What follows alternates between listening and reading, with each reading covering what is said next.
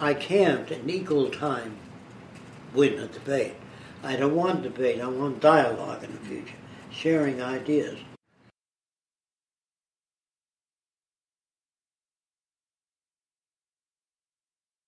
It's the degree of stress.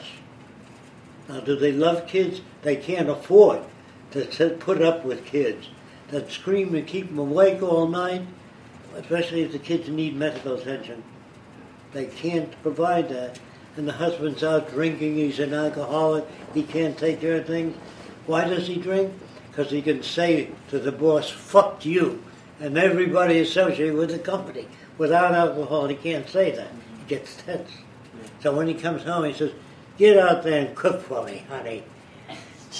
And she does it, he says, fuck you. When he drinks, he feels released. Mm-hmm. But in the mechanistic society, children will learn how to deal with stress right away when they're very young. It means you're expecting something that didn't occur. Oh, yes, that's true. I expect it to work. When I build an airplane, I launch it, I expect it to fly, not to crash.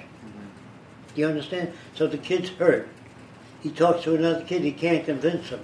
He feels rejected. You know, all that. So when I talk to a person and they reject what I say, I feel I don't know how to get to them. That's the proper word. Instead of saying, that son of a bitch, I couldn't get to him. You know what I mean?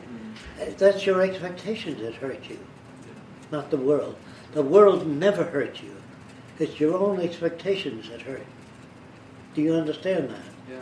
But if you're brought up that way, it's very different than hearing me speak.